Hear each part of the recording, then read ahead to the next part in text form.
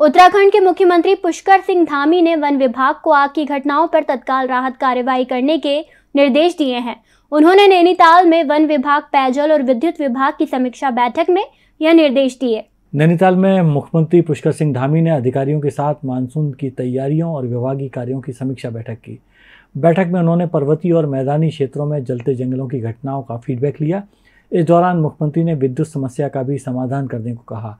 गर्मी बढ़ने से लोगों को पानी की किल्लत का सामना करना पड़ रहा है, जिसे देखते हुए सीएम धामी ने जल संसाधन के अधिकारियों को पेयजल आपूर्ति उपलब्ध कराने के निर्देश दिए। उन्होंने कहा कि जिस तरह से प्रकृति अपना रूप बदल रही है, उस पर हम सबको मिलकर पर्यावरण संरक्षण पर काम करना होगा, तभी एक स्वच्छ वातावरण हम देश को दे सकते हैं। ये हम लोगों के लिए, सब लोगों के लिए ये जिस प्रकार से तापमान बढ़ रहा है, जिस प्रकार से हमारे आज ग्लोबल वार्मिंग हो रही है, पर्यावरण हमारा लगातार कम, उसका स्वच्छता का जो रेट है वो कम होता जा रहा है। हमारे धारे, नौले स्रोत गाड़ गधेरे लगातार सूख रहे हैं। तो उसके लिए हमने राज्य सरकार की तरफ़ से वाटर रिजनेशन बोर्ड ऐसा बनाने का भी काम शुरू किया है।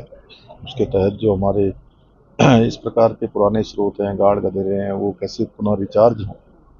अधिक से अधिक हमारा वृक्षारोपण हो और जन सहभागिता इसमें हो। जल संरक्षण और जल संचय को लेकर अभी हमने राज्य के अंदर इसकी शुरुआत की है और एक सप्ताह जल संरक्षण और जल संचय का देहरादून में जल उत्सव के रूप में मनाया था।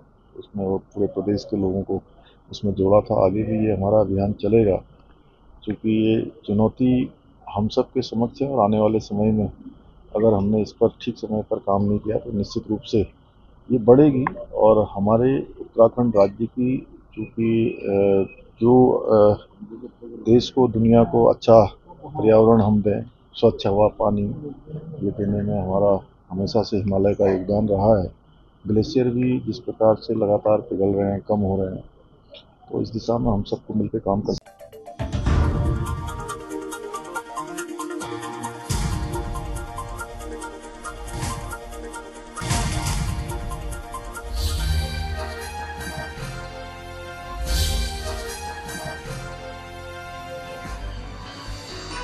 आप देख रहे हैं दखल न्यूज़।